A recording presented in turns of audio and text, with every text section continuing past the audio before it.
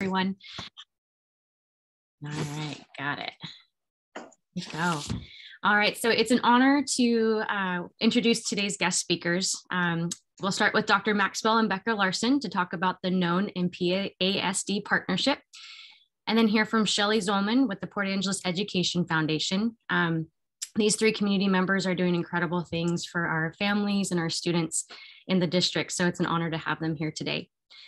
Uh, first, we have Dr. Maxwell. He's the CEO of the North Olympic Healthcare Network. Uh, Dr. Maxwell attended medical school at the University of Washington and did his family medicine residency at the UW affiliate in Spokane.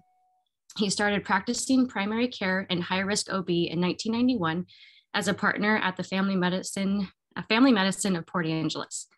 Dr. Maxwell led efforts to transform the private group practice into a federally qualified community health center uh, known as NOHN in 2016, and he was hired as the CEO. Uh, he retired from clinical practice in July after 30 years. And a fun fact about Dr. Maxwell is he always wanted to be an astronaut. and then also with us today is Becca Larson. Uh, she is the family navigator for the Port Angeles School District. Uh, Becca graduated from Utah State University with a bachelor's in social work from the University of Utah uh, with a master's in social work. Uh, Becca has worked in pediatric medical, social work, and nonprofit settings, providing parenting, education, and support. And she's been with the district since 2019. Uh, she loves her position as a family navigator because the opportunity she has to build relationships with parents, school staff, and now NOHN.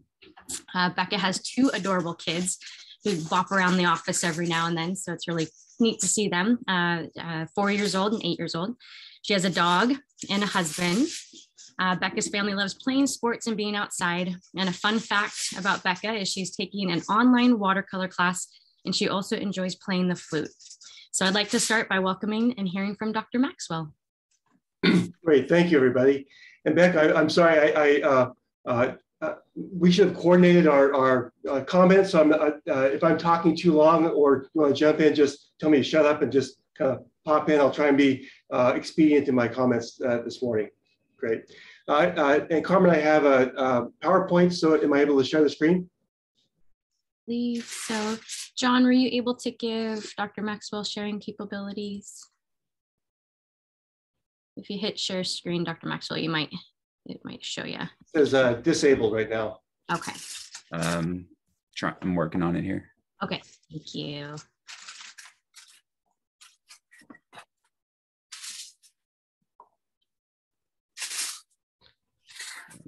Not seeing what did, oh, Michael Maxwell, okay.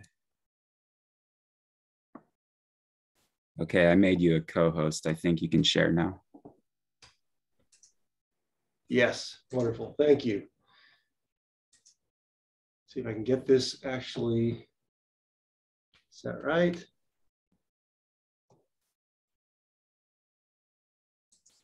Think of all the all this stuff I've had to do on uh, Zoom. I have this down cold by now. And looks great. Oh, we lost you. I was there. I was so close. One more time. How's that look? Perfect. All right. Well, thanks everybody. It's, it's nice to see that uh, uh, it's not just physicians and teachers that are keeping these hours, so that um, I, I, feel less lonely. Um, see, let's get going. So I'm just going to start uh, just by uh, thanks for the introduction to uh, Carmen. It's uh, better than what I would have done for myself. I think a good place to start with organization. I just want to give you a little bit of background about North Olympic Healthcare Network for those who aren't familiar with this before I focus on, on the collaboration with the school district. Um, I think always a good place to start with uh, organizations this mission, and uh, it's to provide patient-centered, quality-driven, whole-person healthcare services that are accessible to everyone in our community. But I want to give you just a little bit of background about how we got there. As uh, Carmen mentioned, um, uh, so we're a, a 501c3 not-for-profit federally qualified community health center. And, and uh, we became that in 2015 after transforming our 40 year private practice, Family Medicine Port Angeles. Um, I see some people on the call uh, were actually patients of, of the clinic for a long time, and it's good to see familiar faces. Um, uh, we, uh, for those who uh, remember back in 2014 in Port Angeles, if you did not have a doctor, you were not going to find one. There just were not enough primary care uh, providers in town. And so uh, it, back in 2015, we were at a kind of crossroads and tried to decide what we wanted to do for the community. And the model we were using was just not going to work for the long run uh, for the community. So we elected to uh, transform ourselves to a community health center by applying for this uh, uh, opportunity through the uh, Health Resource Service Administration for a grant to that's available to medically underserved populations or health professional service areas. It's a competitive grant process that there were about um, 164 uh, grants uh, available in the country, 2,000 applicants, and we were one of those 164. So we uh, uh, turned ourselves into a new entity uh, called North Olympic Healthcare uh, Network.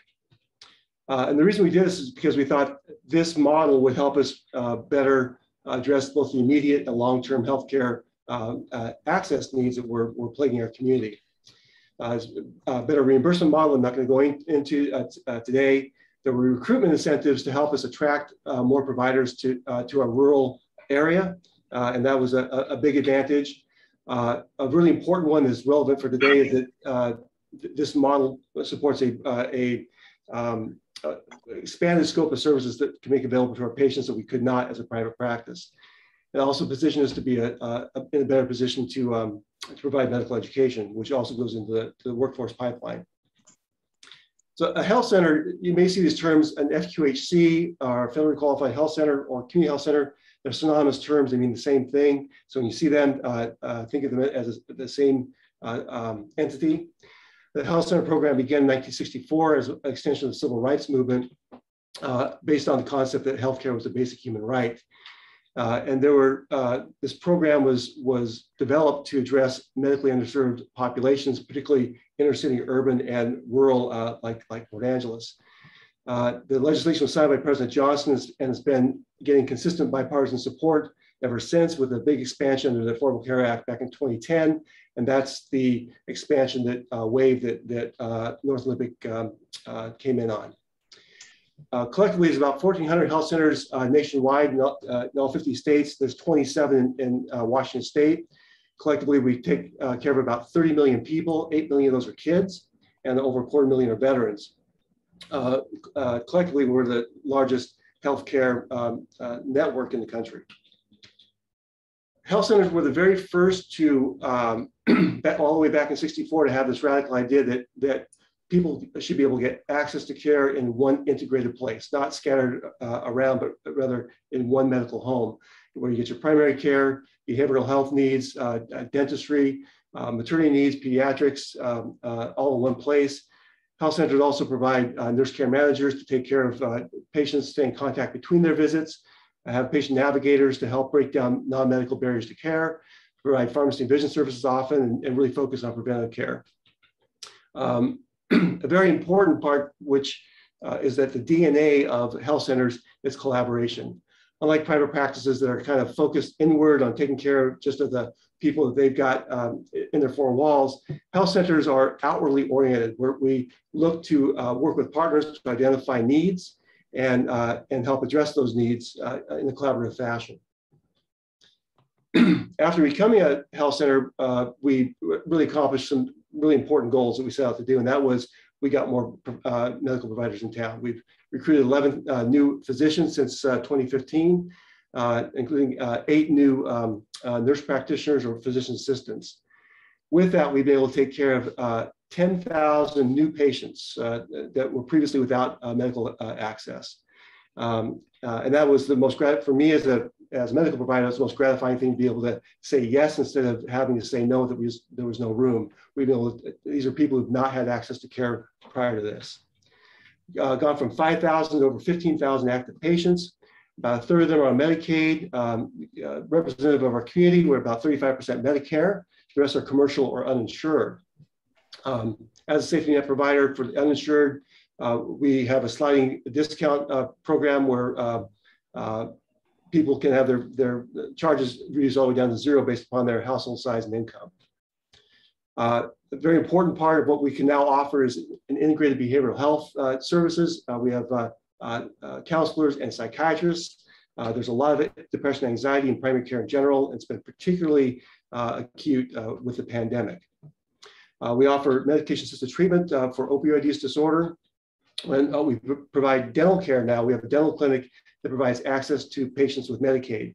Typically, uh, uh, patients with Medicaid, particularly if you're an adult, only about 25% of those people have ever access dental care because they can't find anybody to take their insurance. but we will we see patients with Medicaid. We also provide um, uh, medical education resources with a residency uh, with the University of Washington uh, or Swedish and, and OMC. We uh, take on medical students and uh, we're a training site for medical assistants at the, from the college. Uh, but what we really want to focus on is, is our expanded community collaborations and the most you know, really important impactful one that we're involved with now is, is our collaboration with the school district. Um, we started out at the high school back in 2017 we, uh, through some outreach services to the high school at the request of uh, the uh, PA Citizens Action Network. They approached us uh, back then, uh, identifying a problem at the high school at that time, a lot of um, decreased graduation rates, uh, absenteeism, students having a difficulty attending classes because of illnesses or, or behavioral issues. And they asked us if we could bring some services to, to the high school. And so we it was new for us, and we um, we uh, uh, hope to be able to uh, uh, provide something that could help improve student success and, and improve graduation rates. Uh, initially, it was sort of variable hours. In fact, our very first, um, the, I think the first few months, we were actually in a, literally in a closet in the, the, outside the nurse's room um, as we were trying to figure out how to get this thing off the ground. Um, and um, it's been a learning experience ever since the, the first two uh, years, uh, uh, we learned some important lessons. Uh, first was that, you know, medical services uh, relative to others are, are underutilized. And, and that's for a number of reasons. Mostly, you know, kids in general don't get sick that often, uh, but they're particularly, they're not um, immediately trustful. You know, they don't just walk into a stranger and, and if they're not familiar with it, they're not going to access those services. Um, you know, not being able to really be connected and, and uh, have the students know who we are, what we were doing, uh, really um, um, led to not a whole lot of utilization on, on, the medical side. It was, although it was fairly low volume, I think it was about the first uh, couple years, about 100 medical patients uh, over the uh, school year. They were actually pretty high impact. These were pretty important uh, um, uh, interactions with kids that, that had a big impact on themselves and their, their, their families. So it's, it was an adjustment uh, going from, um, you know, our focus is not really high volume, but really high, high impact. it was really struck us that uh, the uh, biggest need was behavioral health. And I think anybody who's in education uh, knows that, that that's, uh, that's true. And it's really become much more so in recent years. Um, we also learned that the, the needs extended far beyond the, the high school. Uh, there were middle school and elementary schools, uh, that their students, particularly with behavioral health issues, were having um, really needed help almost more in the high school.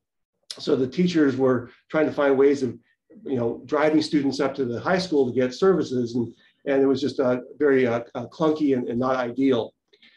and then um, the Marty Brewer had a great idea to try and help um, basically connect students with the services that we offer and others offer by uh, having someone like Becca on site. So uh, I think Becca came on in 2019 uh, and it had just a, a, profound impact on helping students uh, to understand about what services are available. And uh, she understood what could help uh, make those connections. So based upon those, those learned experiences, we proposed to make some adjustments in what we were doing going forward. And we really wanted to increase our availability um, uh, uh, and increase our presence more generally uh, throughout the district, increasing access uh, beyond just the high school, particularly for behavioral health services. And I really wanted to expand the Family Navigator um, program. Uh, I, I, tried to find a way to, to clone Becca, uh, but we didn't have the resources and just didn't have the time. So we decided to, to go a different, little different route uh, with some additional funding. So we proposed to the uh, school district um, back in 2019 a, a, a, mobile service model. And uh, when we first, I remember the, the, look on the school district's face when I, I, said they had this vision of driving up in a white van, you know, uh, and it looks very sinister, you know, uh, and we had to explain to them, no, that's not what this is. And, and uh, but once it uh, um, got them familiar with what we were proposing, they were very enthusiastic. Um, so we get got into with their uh, approval and um, uh, enthusiasm, we decided to really look into the how to best deliver care with, with, this model. Looked at various vendors and designs, um, had to develop a capital budget, and then come up with funding. Uh, it, it's, uh, it was an ex expensive proposition, about $400,000 is what it took to uh, uh, pull this together. And we uh, had to, you know, we didn't have that just laying around there in our couch cushion. So we had to go out and find some grants to help with um, capital investment. We got some grants from HRSA, as well as some contributions, donations from healthcare partners and uh, a private health foundation that we uh, applied for a grant for and put that together to to get us where we were, uh, where we got to. We initially planned on about a nine to 12 month construction of the, of the mobile health unit and planned to have it in service in January of 21. Uh, but of course, COVID hit and uh, really disrupted not only uh, the, uh, disrupted the school year, but also just the construction. It, it delayed things uh, all the way almost 10 months until October 20, 2021 got delivered to us uh, at the end of uh, October, and we started operations at, uh, with the school on November 8th. Um, and this, you may have seen it around town. It's it's it's not a white Chevy van. It's uh it's actually a 38 foot um, um, uh, commercial Winnebago, at, uh, that is designed specifically for uh, commercial purposes. Uh, and uh, it's kind of hard to miss. It's a it's a it's a billboard on wheels. So uh, um, if, if you, you, can't miss it. Uh, the inside is it's uh, uh, often not what people expect. It is a uh, it looks and feels like a true uh, clinical space. it's has three separate spaces within it to provide counseling as well as be, um, um, medical and dental services. So what we offer, um, I'm trying to watch for time. Uh, doing okay on time? Okay. All right. Great. I, I one of my yeah, you did good. One of my great faults is I talk very fast, and, and uh, it's coming coming handy uh, this morning. Um, so the services is we provide uh, primary medical care. So we take care of uh, uh, illnesses. Uh, so if you know kids have headaches or stomach pain or something hurts and it's, you're not sure if they um, you know need to go home or wonder what's going on, we can evaluate them for the medical illnesses. If they have minor injuries, we're not really equipped for, if someone comes in with a you know a, a laceration, uh, but for uh, minor injuries, we can assess those and get them to the right uh, areas for definitive care if necessary. Providing well child uh, visits and sports physicals, especially around um, uh, uh, sports time, can be very helpful for getting kids um, to be able to participate. Provide immunizations, education, and drug and tobacco use prevention and counseling are um, some of the primary services. Behavioral health, uh, we actually provide one-on-one counseling uh, within the uh, mobile health uh, clinic. Um, our counselors are, are there uh, treating depression, anxiety, assessing suicide risk, and helping address conduct disorders. We um, will be providing dental care on a, on a less frequent basis. About monthly, we plan on uh, being at the various sites to provide oral health screenings, uh, uh, education, some fluoride treatments, and possibly uh, sealants. we're not really equipped to do, it's not a full dental clinic on wheels. It's more of just more of an assessment. If we can do referrals for, for treatment for, for cavities if, if they're identified. Um, we're uh, to kind of meet our goals, we really want to be everywhere in the school district, not just the high school. And so uh, having a clinic on wheels uh, lets us be uh, at all elementary, middle, and high school uh, sites uh, uh, on a rotating basis over the month. we've initially designed things to be at, at where there's thought to be more needs. So at the middle school and at the high school, um, we're there more often, I think twice a week, and at the elementary schools on a rotating basis once a week. We're, the nice thing about this is we can adjust based upon the demand. If, if things change, if one school is having uh, more trouble, we can adjust the schedules to uh, um, provide more services more frequently. Uh, in addition to providing one-on-one counseling, the, the uh, behavioral health uh, staff are also providing expanded services to students and parents through uh, evidence-based prevention and educational interventions, as well as eventually doing group level interventions. And we're really happy to, to be able to find some uh, financial support to expand uh, the uh, school family navigators. Um, uh, again, we wish there were more Beccas, but uh, but there's only one of her. But we've uh, the, school's found a way to kind of leverage her knowledge with additional staff and and make those um, help make those connections at, all, at the sites um, with services. So the services are available to all students and school staff. Uh, it can be pre-scheduled or on a walk-in basis. Um, the uh, uh, Beck and her team can help uh, facilitate and coordinate. They'll know the schedules and how to, you know, which kids might need uh, help for what services. It can help get them scheduled with us or other uh, providers in the community if that's uh, preferred or more convenient. we recommend pre-registration and consenting by parents um, with a during the uh, ahead of time. Uh, so I think there's registration materials in the uh, school packets at the beginning of the year, but parents can consent and register anytime. Um, they're, they, are encouraged to do ahead of time just to, to, make things easier, but they can be done at the time of visit, uh, their first visit, if that's, uh, uh, if that's necessary. The parent does not need to be present if those consents are signed ahead of time. They don't have to be present uh, for the kid uh, to, uh, to get services. Although parents are often encouraged by behavior, behavioral health staff to attend those visits because often that's those are kind of key um, relationships. We follow Washington state law uh, uh, regarding healthcare of minors and consents. Uh, uh, uh, state law says that minors can self-consent for emergencies, for birth control services or pregnancy care. And they can also self-consent at 13 years of age or older for behavioral conditions like depression or anxiety. Uh, parental consent is required otherwise for non-emergency medical care and immunizations.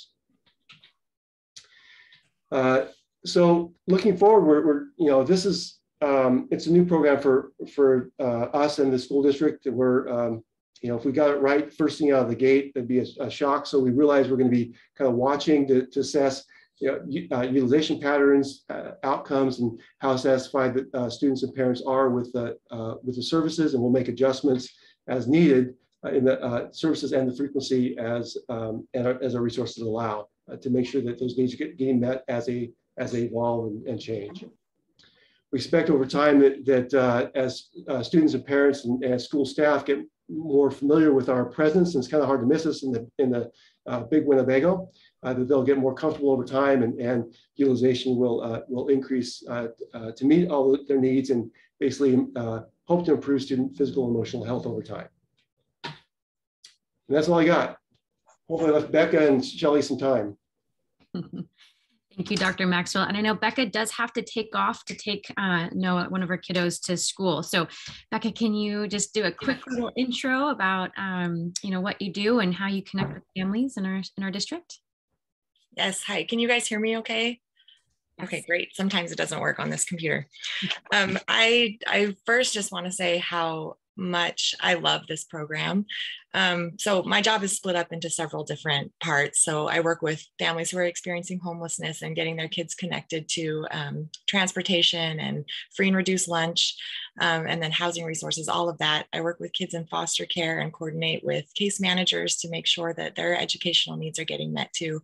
And then the third part is working with the NOHN clinic. And, and it's one of my favorite parts because it allows me to be creative and also build relationships with people who are very invested in the community including teachers who have um, such concern about their students, especially now as we are seeing many of our students experiencing more anxiety and depression and um, difficulty accessing mental health services because of um, the lack of providers in our community. And so I feel like the mobile health clinic has really filled a huge gap and has allowed students not only to see a counselor, um, but also to see one quickly. So it reduces that wait time and because of the relationship that I've been able to build with NOHN, we can receive referrals and then at sometimes schedule behavioral health appointments for the very next day. And so I think um, parents really appreciate that, um, and and also school staff. Um, so I I do have to take Noah to school. He's at Franklin and he gets very upset if he's late. but I do want to share just a quick story. Um, I have so many stories about how big of an impact this has meant for our families, but um, the one that is most meaningful right now to me or sticks out the most is a, a family who are two children. They're in elementary school, and um, for various reasons, really complex reasons, they aren't living with their um, parent and so it's it's been a struggle they've um, they're living with someone who doesn't have any kind of legal guardianship and um, state law allows me as the homeless student liaison to consent for medical and behavioral health services for kids who are unaccompanied minors and working with NOHN we were able to get those students behavioral health care um, and medical care too because the person that they're living with didn't know who their medical provider was, was having some struggles getting them um, signed up for care. Uh, so this has been, it's been huge and it's meant um, the world to some of these kids who haven't had care otherwise. Um, so I really appreciate it. I, I think that it it's going to just keep growing and um, we are serving the middle school. Most of our clients right now are from the middle school and that's a really difficult age we know a lot of changes going on there for those students and so we're just it's it's amazing to see how targeted and how flexible it can be as we see the need change or as we better understand what the needs are in the community. And I love working with the NOHN staff. Um, I really appreciate um, how well they communicate with us and um, how creative they are. It's been a really great experience for me. So thank you all for letting me be here. And um, okay, I gotta go. Thanks, Thank Becca. You. Awesome. All right. Do we have any questions or comments for Dr. Ma Maxwell? Looks like Kathy. Um, Dr. Maxwell, has the mobile program um, had any hand in helping um, diagnose early cases of COVID in, in, the, in our kids? Uh, we actually have the uh, capacity to do rapid testing on, on the mobile unit. So uh, it's available. The way the school uh, the way I understand is the school already has access to their own testing, uh, uh rapid testing, and so we haven't really been the primary source for that. But uh, if a if a student uh, has symptoms, and uh, I think the the school district protocols are to for the school itself to, to test the kids, uh, and if um, um, and if the, kid is positive and needs medical evaluation, they can send this to us for treatment. Um, if we see somebody who they they um, weren't sure about and did not get tested, we can go and te test it, the, the child on, on the uh, on the unit. Mm, I have a question. Um, how well do you think the community has, how well or how rapidly do you think the community has learned about this program um, in terms of it becoming general knowledge as uh, uh, a resource for the general community? Uh, we think, uh, uh, you know, obviously it's, it's, hard to miss it. You know, like I said, it's a billboard on wheels. Uh, so at least uh, they're aware of the unit. presented to the EDC, I think it's where where Kathy actually became aware of it the a couple weeks ago, and which led to a, a article in the PDN. so it, um, I think that spread the word. Uh, we'll be on KONP uh, next week to kind of talk about this as well. Uh, so it's getting out there. It's, it's, a new program, you know, uh, less than a month in, in uh, operations, uh, but we're kind of steadily getting the word out. We do have some billboards um, planned to further kind of get the word out. Thank you. Great. All right. Well, thank you again, Dr. Maxwell, for coming on and sharing your story and partnering with the district. We really appreciate you and your team. My pleasure. Thank you. All right, and so um, we'll we will pop on over to Shelley Zollar, uh, do a quick little intro for our next presentation. Um, so we, uh, Shelley Zollar with the Port Angeles Education Foundation. Uh, Shelley is the new Public Relations Director for PAEF and is the graduate of Port Angeles High School and the University of Washington. Uh, she lived in Northern Idaho for the past 20 years and recently relocated back to PA. Uh, she's owned a web design company since 2000. And in the last eight years, uh, she managed a nonprofit in North Idaho promoting organizations that serve children and families. Um, upon arrival back to PA, she accepted a job with the Port Angeles Edu- oh, excuse me, Port Angeles Education Foundation and also Prevention Works recently. Uh, so she has many hats um, and she's doing the same public relations outreach and networking task uh, she's been doing in Northern Idaho, but just here on the peninsula. A fun fact about Shelley is she was, uh, this is awesome. She was one of a six girl tuba line in high school and went to the Fiesta Bowl. So that was really cool. So welcome, Shelley. Thank you for being here. Thank you for having me. It's kind of neat to be, it's neat to be back in PA. And I was just noticing, um, I went to school with some Perrots and some Gothams. And so I feel like, you know, I'm, even though I've been gone for a long time, I've still got my roots here. So um, essentially, um, and I, I, I can be pretty quick. So the Port Angeles Education Foundation has been around for about 30 years. And I'm gonna, I'm gonna read just two things and then I'm just gonna wing it. Um, so our mission is to re, um, remove barriers for individual students, fund innovative education experiences, and provide scholarships to make post, you know, secondary education accessible. So those are kind of our three tiers of what the foundation does. Um, I wanted, so I wanted to start with this little story that kind of sets it up for the for, for our grant process. So um, this is from a biology teacher. He this was his grant report um, after the foundation was able to purchase some binoculars for his bio biology class. He says, when we returned to in-person learning last spring, the tone of our classrooms could simply be described as awkward. It was like starting over when everyone met in person. By the fourth week of second semester, three of my students had failed to begin any of their online assignments. Uh, once we started the PAEF funded project in week five, two of the three students made an enormous effort to get their grades caught up and finished the semester with high marks. Though the third student never caught up with his online assignments, he was fully engaged in the project activities, interacted with his classmates and teacher in a positive way, and gained a richer understanding of the natural world. So that's just like one little snippet um, of our SPICE grants. SPICE uh, stands for Supporting Projects of Innovation, Creativity, and Excellence. So we have a grant process that's, that's due in October, and we, we just recently funded over $50,000 of SPICE grants to over 20 teachers.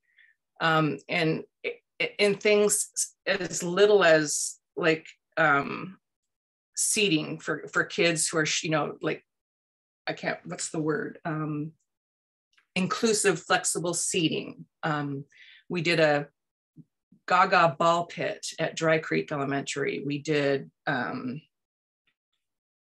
wireless mics. We've done funding for the Stevens Marching Band project. So just teachers are able to, I mean, and it's kind of like shoot, shoot, shoot for the moon. And um, a lot of teachers are, are getting to do things with their students that they would not have the opportunity to do. So field trips, just experiences, just, you know, ex exciting stuff. So that's one of our cool things. Um, scholarships is our big one. And I, I always laugh because when I came on board, I didn't realize that the foundation has taken over um, basically the scholarship notebook process. And I just, I harken back to the 80s when we were literally doing green scholarship notebooks, you know, for, you know, to turn in and they circulated around the community. Well, the foundation now kind of takes that, has taken that process over. And in last year, they awarded over $260,000 in scholarships from, I think it's about almost two dozen permanent and, um, you know, temporary funds from, you know, the community that they have set up. So that was, that was a majority actually of the local scholarships given last year. So that's a pretty cool thing. And we've got some taskmasters and amazing people in that process. And I just had a meeting yesterday at the high school with some of those counselors over there. So um, yeah, so scholarships, SPICE grants, and then we also throughout the year, last year we helped over 70 kids with things like school uniforms and ASB cards and eyeglasses and gym uniforms and toiletries. And so, so we're available throughout the year for you know basic you know needs that just are are not being met elsewhere so um, that's kind of it in a nutshell. We um, kind of hopefully fill the gap where you know all of a sudden there's a need, and um, so grants, scholarships, and then helping kids throughout the year. And if you're interested in how you can help, I will put my contact information in the comments. But yeah, it's it's, it's great. I'm so excited. You know, everybody loves edu- you know, it's it's really great to fill the gap for those kids that need it, and then also to help further education and help teachers, um, especially kind of coming out of COVID, um, do things with their kids that they wouldn't be able to do otherwise. So that's really all I have. Questions? Awesome, Shelley. So I didn't even know that you guys took over the scholarship um, task. So so thank you for doing that. Uh, it's a big a big lift, and we're really grateful and excited to have you back on the peninsula. Thank you. Yeah. Any questions or comments for Shelley? Oh, looks like Kathy. oh, I think you're on mute. Do you have contact information? Um, my my sons went through the school system in in the um, to early 2000s, and I wasn't aware of this whole involvement. And I think it's just awesome, and that you're getting the information out. So if you could um, send the confirmation the information, um, I'll send it out to the rest of the club. That's good. Yeah, I put my um my I put the website, my email address, and my phone number in the chat. And then Carmen, I've been working with Carmen. We've probably talked weekly or so, just because you know to see because I'm I'm like diving back into the community and because I need to know. I like big picture and I like to understand. And like for instance, where we just the Caring for Kids Christmas project coming up, the foundation's going to donate some you know some some funding for, for last minute you know like socks or underwear that that might you know if, if there's a gap once we've collected things from the community. So yeah i want to i am happy to know and i'm also with my prevention works position i, I just want to know what's going on out there. So i'm happy to be a resource and a a um, liaison for the for the found you know between the foundation and and what we can do. Awesome. Great. Well, thank you again, Shelley. We really appreciate you being here with us this morning. All right, well, uh, that wraps up our presentations for the day. Thank you to our presenters, and let's hand it back over to Scott. Thanks, Carmen. Uh, Rob, can you do me a favor and put your phone number on the chat? Because March Prot's trying to get a gift, uh, the gift card book to you. So uh, if you could just do that, so Bill, or send a message directly to Bill so they get a hold of you. So Dr. Maxwell, Becca, and Shelley, thank you so much. Your uh, your service to our kids is absolutely fantastic. Very much appreciated. I enjoy it. Max, yeah, and Dr. Maxwell, just on a personal note, uh, with your North Olympic uh, Health Network, my mom is a, one of your patients, and it's, it's absolutely incredible the, the support y'all provide uh, in two ways specifically. Well, three ways. Dr. Weller is is absolutely incredible. Yes. Uh, providing service to my mom. Really fantastic lady. Uh, but when I've had questions about anything, I, I, call your your network there and your your call center, and they get right back to me and answer questions very professionally and give me guidance on what to do. And then also when my mom's in the hospital, you know, you've always got the floating doctor that comes in and you know representing your your network to. So I I, I really appreciate everything you're doing. So well, thanks for the feedback, Scott. Yeah. Yeah. Appreciate and, and to hear what y'all doing for our students is fantastic. So thank you. Thank you very much for your time. So uh, this Thursday, uh, 9th of December over at Roosevelt. Hope to see everybody five o'clock. Bring your ugly sweater. Uh, so we have the competition there, and as you saw, I'm, I'm taking it very formally and I'm on on chairing that, and, and it'll be a